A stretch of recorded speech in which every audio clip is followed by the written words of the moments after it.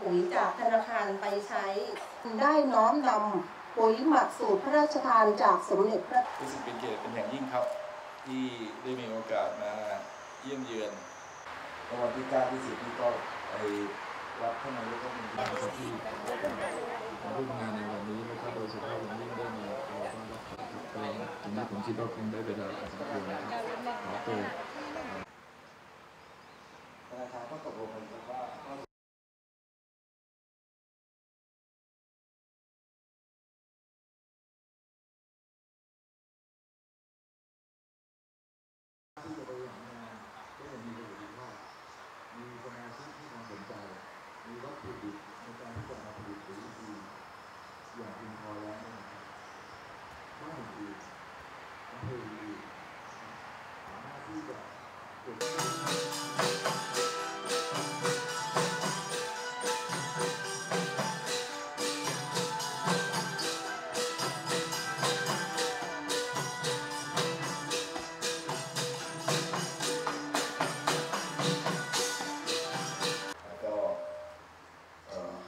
ช่วงหลังเนี่ยก็มารับราชการอยู่บริเวณของภาคกลางประกอบด้วยการผลิตปุ๋ยหมักสูตรพระราชทาน ตั้งแต่ปีงบประมาณคณะกรรมการซึ่งมาจากกลุ่มผู้ผลิตปุ๋ยอินทรีย์ในพื้นที่ตำบลตำบลเกาะสะบ้าอำเภอเทพา